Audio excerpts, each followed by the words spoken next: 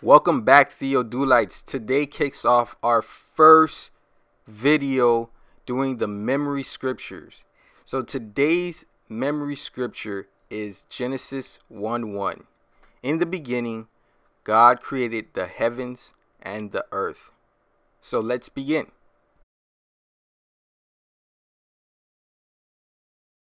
So to better help commit to memory, I like to repeat the verse at the beginning and at the end of reciting the scripture.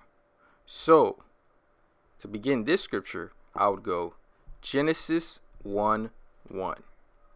In the beginning, God created the heavens and the earth. Genesis 1 1.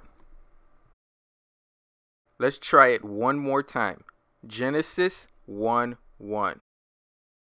In the beginning, God created the heavens and the earth. Genesis 1 1. So, some key tips as you guys embark on this new journey.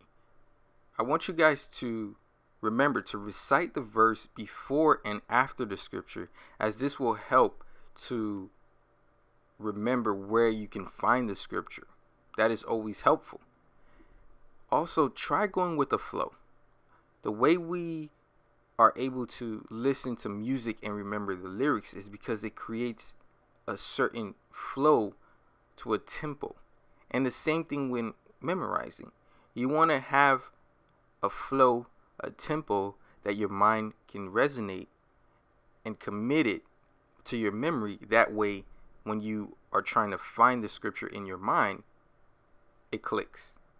And also, practice every day. In anything that you do, you have to practice every day. It's not helpful if you just start doing the memory scriptures for three days and then decide, well, I'm not cut out for this scripture or I don't want to do it.